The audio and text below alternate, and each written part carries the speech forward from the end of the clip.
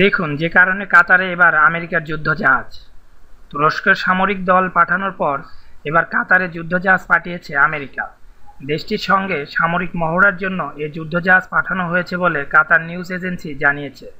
President Donald Trump কাতারকে সন্ত্রাসীদের শীর্ষ অর্থ যোগানদাতা হিসেবে উল্লেখ করার মাত্র একদিনের পর সে দেশে যুদ্ধজাহাজ পৌঁছালো।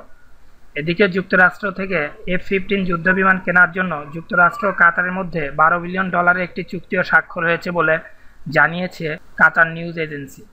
কাতারের প্রতিরক্ষামন্ত্রী খালিদ আল আতিয়া ও যুক্তরাষ্ট্রের জিম ম্যাটিস এর মধ্যে ওয়াশিংটন সিটিতে ওই চুক্তি স্বাক্ষর করে তবে যুক্তরাষ্ট্রের প্রেসিডেন্ট কাতারের বিপক্ষে অবস্থান নেয় কাতারের যুদ্ধজাহাজ পাঠানোর উদ্দেশ্য পরিষ্কার নয় বলে জানিয়েছে কিউএনএ কাতারের আগে থেকে মধ্যপ্রাচ্য যুক্তরাষ্ট্রের সবচেয়ে বড় ঘাঁটি রয়েছে, যেখানে দেশটির প্রায় এগারো হাজার শূন্য অবস্থান করছে।